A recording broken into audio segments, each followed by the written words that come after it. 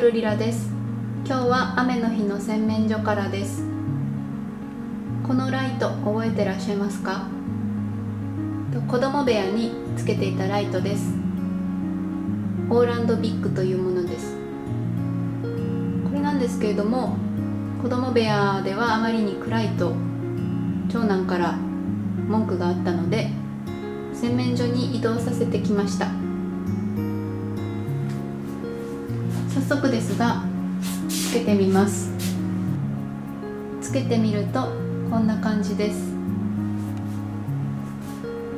影がとても綺麗です。今日は雨の日で洗面所が暗いんですけれどもこの木漏れ日の感じすごく癒されます。洗面所はもう1個ダウンライトが、え、2つあります。あそこ。ダウンライトもつけてみます。こんな感じです。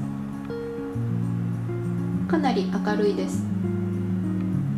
洗面所はここ上の方に窓が2つあるんですけれどもえっと実は建築した当時は隣にお家がありませんでした。なのでここの洗面所もすごく明るかったんですけれども隣にお家が建ってしまって電気なしではちょっと暗い空間となってしまいました。我が家は洗面所が白くて爽やかな空間ではなくてこのように黒いタイル張りの洗面所なので暗い雰囲気は結構合ってると思います。あと我が家は全てダウンライトなんですけれども、えっと、このライトはペンダントライトで、えっと、ちょっと細工をしてダウンライトをペンダントライト化しています。であの中に配線とかを埋め込んでてそここの部分穴になってるんです。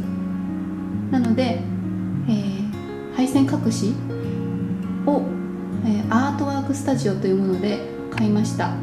もうあの、それしかなかったんですこのカバそれ一択だったんですけど残念ながらカチッとはまらなくて落ちてきます。なので養生テープで固定しています。こんな感じ。もう本当にダサくてちょっと嫌なんですけど今のところ家族も誰も気づいてません。意外と天井って見ないんですよね。まだ気づかれてないのでこのまま固定しておこうと思っています。この扉はお風呂の扉なんですけれども今日は雨の日なのでこのようにニトリのサーキュレーター中で回っています。そして浴室乾燥をつけて洗濯物を乾かしています。でちょっとチラチラ映ってるんですけどこれ。雨の日は加湿器のフィルター掃除をしています。我が家のリビングはバルミューダの加湿器とダイキンの加湿空気清浄機を使ってるんですけどもそのフィルター2つをクエン酸で、えー、つけています。以上我が家の雨の日の洗面所とオーランドビッグの紹介でした。また次回の動画でお会いしましょう。ありがとうございました。